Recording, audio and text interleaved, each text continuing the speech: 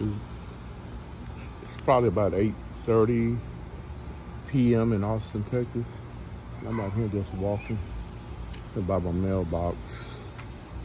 Get the mail. People are in the swimming pool playing.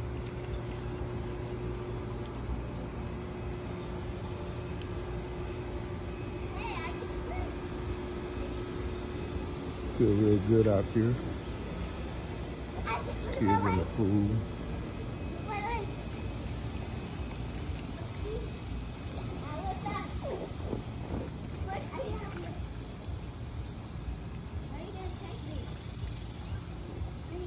One of the better evenings weather-wise.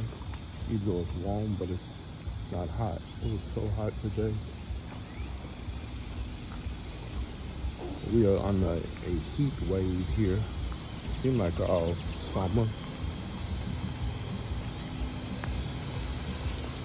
So I'm out here hoping everybody is enjoying their evening, night, or morning, wherever you are in the world.